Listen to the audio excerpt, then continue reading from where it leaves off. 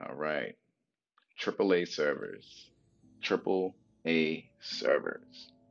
So AAA stands for authentication, authorization, and accounting servers. There are two AAA servers you want to be very familiar with. They are Radius and TACACS Plus. We have the Radius server here, but even if we were looking at a TACACS Plus setup, we would still have a supplicant, we would still have an authenticator, and we would still have the authentication server. So what happens in this AAA setup, imagine us, the supplicant, the user, we want to access a file on this file server.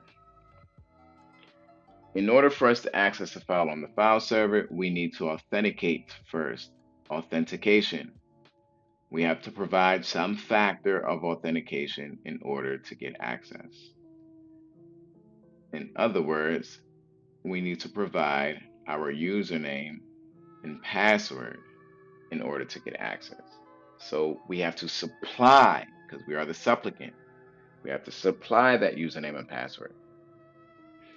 After we supply to the authenticator, the authenticator is going to take these credentials and is going to verify them with the authentication server, Radius in this case.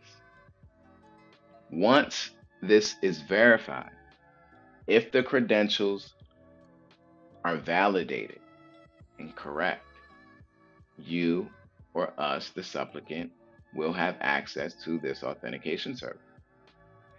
If the credentials are not correct, obviously we're not going to get access.